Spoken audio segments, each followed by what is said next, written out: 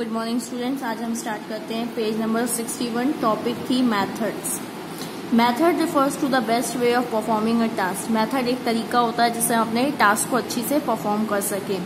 Method is not related to all the steps but only to one steps of the procedure method का मतलब ये नहीं होता कि बहुत सारे स्टेप्स ये है कि जो भी आप स्टेप कर रहे हो, उसको अच्छी से करो। मतलब एक प्रोसीजर का एक स्टेप होता है method ever plans are made it is necessary to establish methods जब भी प्लान बनाए जाते हैं तो हम मैथड्स भी बनाते हैं। Methods and procedures are not synonymous but they are entirely different इसमें यही बताया जाता है, जो मैथड और प्रोसीजर वर्ड होता है, वो एक दूसरे से बहुत अलग होते हैं, दोनों सेम नहीं होते हैं। Method ensures efficiency of operation method ये देखते हैं कि जो भी आप वर्किंग कर रहे हो या ऑपरेशन कर रहे हो, वो अच्छी तरीके से करो। Differentiate between methods and procedures first point there are different steps and procedure जो प्रोसीजर होता है, उसमें बहुत सारे स्टेप्स होते हैं which are chronical in sequence while in methods there is a fix step जो मतलब बता रहा है कि जो प्रोसीजर होता है, उसमें बहुत सारे स्टेप्स होते हैं और एक लाइन वाइज होते हैं। While in method there is a fix step और जो मैथड होता है, उसमें कुछ ही स्टेप होते हैं और कुछ फिक्स स्टेप होते हैं। Method specify as to how a step of procedure is followed मतलब मैथड हमें ये बताता है कि हमें प्रोसीजर के उस स्टेप को कैसे करना है। Procedures are related with different departments जो प्रोसीजर्स होता है, वो बहुत सारे डिपार्टमेंट से रिलेटेड होता है but methods are related generally with one department जो मैथड होता है, वो एक ही डिपार्टमेंट के लिए होता है।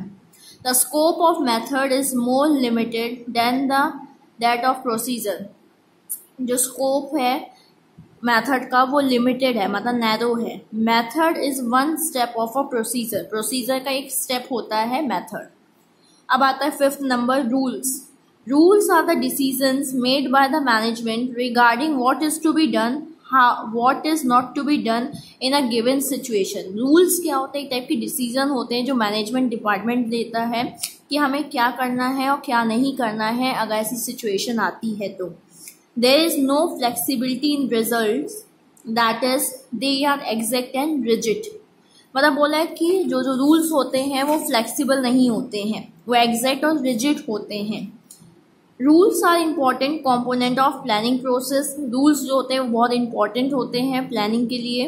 अकॉर्डिंग टू नोट्स और Donnell a rule requires that a specific and definite action to be taken with respect to a situation मतलब यही बताया जा रहा है कि जो रूल्स होते हैं, वो हमें डिसाइड मतलब बताते हैं कि हमें क्या करना है।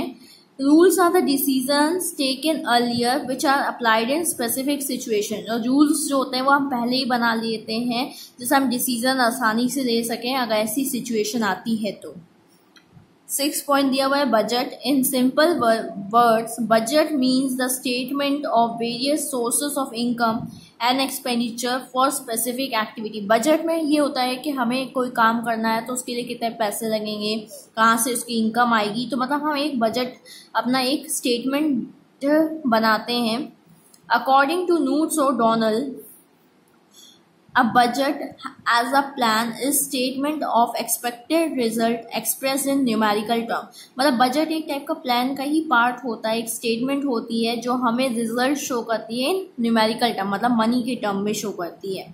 Budget is an important part of planning without budget planning is incomplete budget एक बहुत इंपॉर्टेंट पार्ट होता है प्लानिंग का। अगर बजट नहीं हो तो प्लानिंग इनकम्प्लीट रहती है। Preparation of budget itself is a planning process मतलब अगर बजट आप बना रहे हो तो वो भी एक प्लानिंग ही प्रोसेस है। Through budget the planning of use of financial resources is prepare मतलब उसमें आप क्या करते हो कि आप डिसाइड करते हो कि आपको मनी को कैसे यूज़ करना है, कहाँ कहाँ यूज़ करना है। मतलब आप पूरा उसमें एक स्टेटमेंट टाइप का बनाते हो। Strategy seven point is strategy strategy is an extensive plan which is prepare keeping in mind the competition strategy मतलब हमें कॉम्पिटिशन कैसे फेस करना है, ये भी एक प्लानिंग होती है। Due to present cut throat competition and for the success of different types and forms of in market it is essential to make strategy strategy बनानी बहुत ज़रूरी होती है। अगर आप चाहते हो कि आपका बिज़नेस लंबे समय तक चलता रहे और आप कॉम्पिटिशन अच्छे से फेस कर सको तो nowadays every producer and forms of product in market sorry. Nowadays, every producer tries to bring his product in a unique way, in a new pack in the market, and he wants to keep his plan secret by knowing the secret of S C competitors मतलब ये बोला जाता है जो producers होते हैं वो चाहते हैं कि अपने प्रोडक्ट को अच्छी तरीके से सेल करें नई पैकिंग तरीके से नई मार्केटिंग स्ट्रेटजी अपनाएँ और वो दूसरा जो उसको कॉम्पिटिटर क्या कर रहा है उसके बारे में वो ज़्यादा इंटरेस्टेड रहते हैं।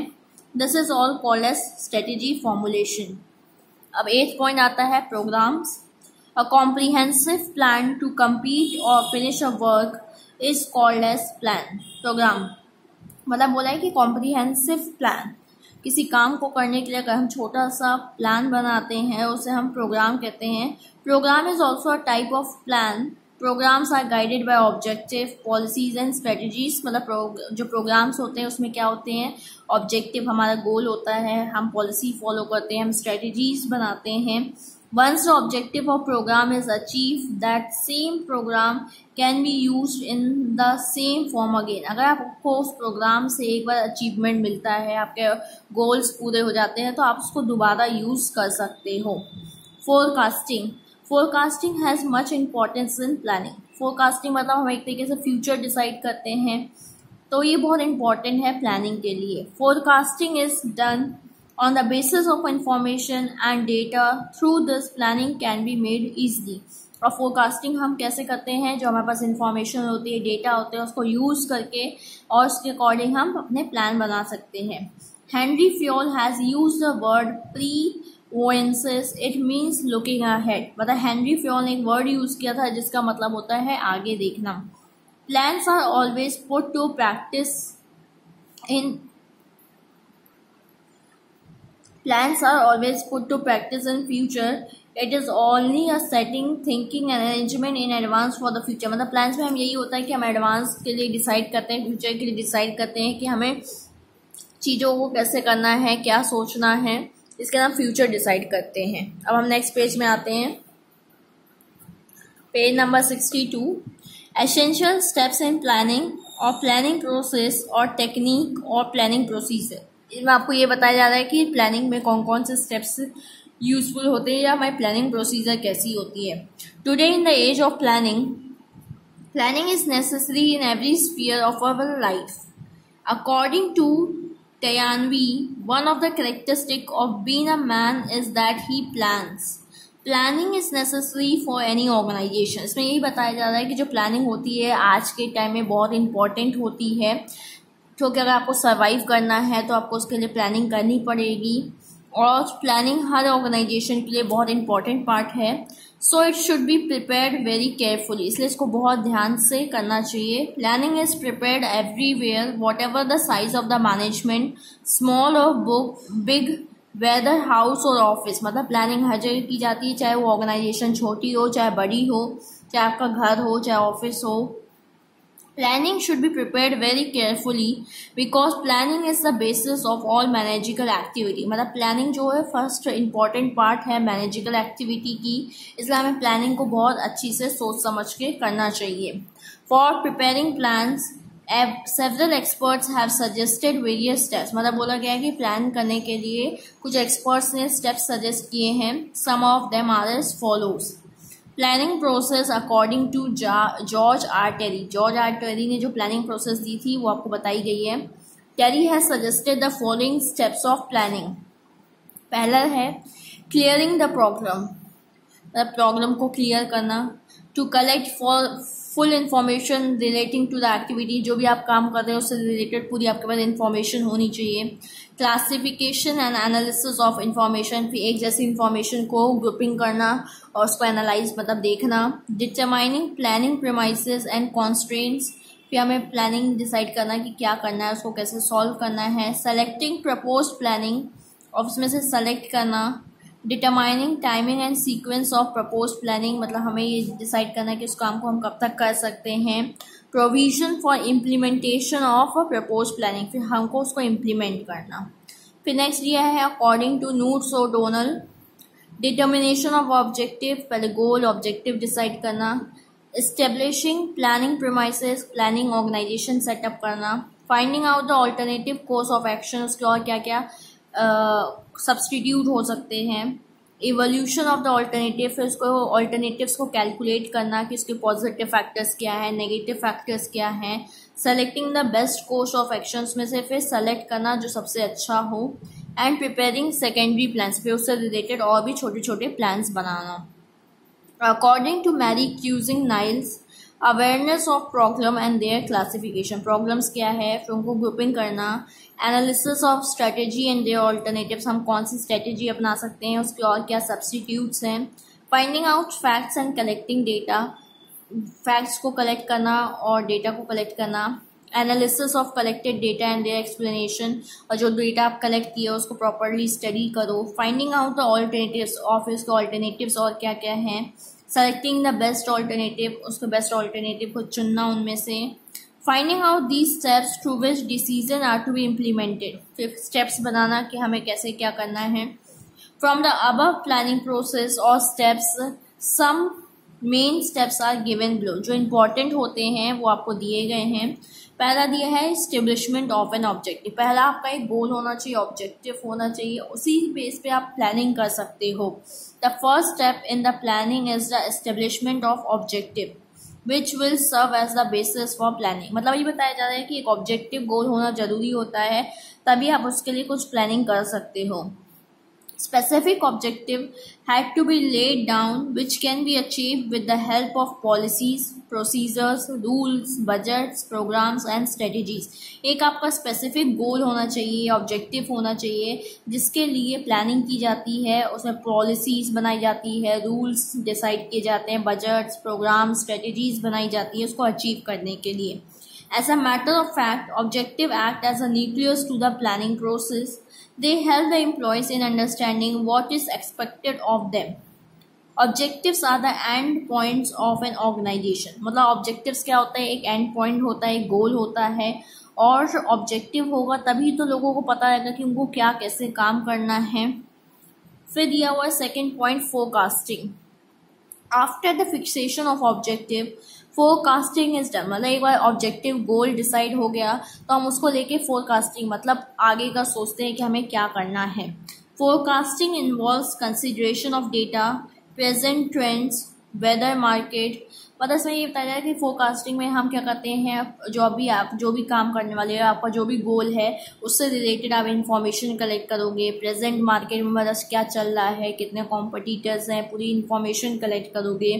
In preparing plans for future, management has to take some predictions about future based on the above मतलब जो आपके पास डेटा है इन्फॉर्मेशन है उससे रिलेटेड आप कुछ प्रिडिक्शन करोगे कुछ सोचोगे कि अगर ऐसा ऐसा हो सकता है तो हम ये कर सकते हैं It provides a logical basis for determining in advance the nature for future business operation and managerial decision तो उसमें यही बताया गया है कि फ्यूचर में हमें क्या करना चाहिए, कैसे अपने काम होंगे, कौन से स्टेप्स लेंगे, हम कैसे डिसीज़न लेंगे तो फोरकास्टिंग में यही हम डिसाइड करते हैं।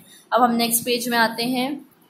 देखिए, यहाँ पे आपको 63 पेज नंबर में स्टेप्स बताया गया है कि हम पहले ऑब्जेक्टिव्स डिसाइड कर रहे हैं, फिर हम फोरकास्टिंग करेंगे, फिर हम लिमिटेशन सेट करेंगे ऑल्टरनेटिव चुनेंगे, इसका इवेलुएट कैलकुलेशन करेंगे फिर उसमें से बेस्ट को सेलेक्ट करेंगे फॉर्मुलेटिंग द डेरिवेटिव प्लान मतलब छोटे छोटे प्लान्स बनाएँगे सीक्वेंस डिसाइड करेंगे और उसको फॉलो करके सक्सेस मतलब हम अचीवमेंट कर सकते हैं। चलिए देखते हैं थर्ड पॉइंट ये डायग्राम बहुत इंपॉर्टेंट है। Fixing limitation Limitation refers to those factors which restrict the freedom of planning for the management. मतलब लिमिटेशन क्या होता है? एक रिस्ट्रिक्शन होता है कि मतलब हमें इसको क्रॉस नहीं करना है। An organization has to consider the following before forecasting मतलब हमें अपनी लिमिट पता होनी चाहिए कि हमें इसके अंदर अपने प्लान्स बनाने हैं, अपनी फोरकास्टिंग करनी है। जैसे पहला दिया हुआ है change in technology change in government policy legislative enactment industrial unrest, ability of raw materials, labor, capital, trade cycle price policy etcetera मतलब हम ये पहले से सोच के चलते हैं कि इसमें इसमें चेंजेस आ सकते हैं। हमारी इतनी लिमिट्स है इसको हमको फॉलो करना है। द लिमिट्स में भी mainly divided into three controllable limitation company has a full power of control to this limitation as policy of company capital development program. मतलब कंट्रोलेबल लिमिटेशन क्या होती है कि जिसपे आप कंट्रोल पूरा कर सकते हैं। तो ये आपको कुछ एग्जांपल दिया हुआ है कि जो गवर्नमेंट कंपनी की जो पॉलिसीज़ है, उसको आप अपना हिसाब से कंट्रोल कर सकते हो। जो कैपिटल है, उसको अपने आप से कंट्रोल कर सकते हो। Semi controllable limitation company has a partial control over this limitation जैसे सेल प्राइस हो गई एरिया ऑफ़ मार्केट हो गया एफिशिएंसी ऑफ़ लेबर मतलब कंपनी का फुल कंट्रोल तो नहीं है, लेकिन हाँ थोड़ा बहुत कंट्रोल कर सकती है, जैसे सेल प्राइस मतलब प्राइस जो डिसाइड कर सकती है. एरिया ऑफ़ मार्केट कहाँ कहाँ सामान को भेजना है एफिशिएंसी ऑफ़ लेबर मतलब जो लेबर काम कर रहे हैं, उनको कैसे और ज़्यादा काम करवाया जा सकता है. Uncontrollable limitation the government has no power of control over these limitation जैसे ट्रेड साइकिल हो गई गवर्नमेंट पॉलिसी हो गई टैक्स पॉलिसी हो गई वेदर गवर्नमेंट का इसमें सॉरी कंपनी का इसमें कोई कंट्रोल का राइट्स नहीं होता है। ये कंट्रोल नहीं कर सकती हैं।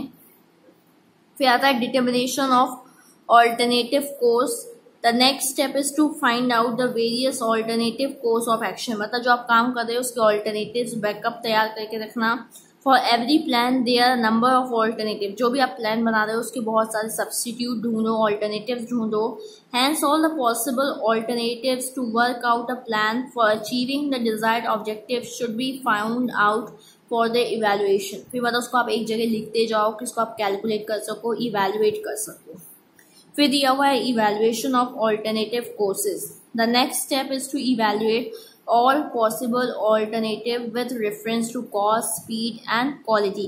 जो आपने alternatives बना लिए हैं, उसको लिख लिया तो उसको आप मेजर करो। मतलब देखो कि कॉस्ट के टर्म पे फिट हो रहा है कि नहीं स्पीड क्वालिटी के अकॉर्डिंग है कि नहीं है। आगे का हम नेक्स्ट डे देखेंगे। Thank you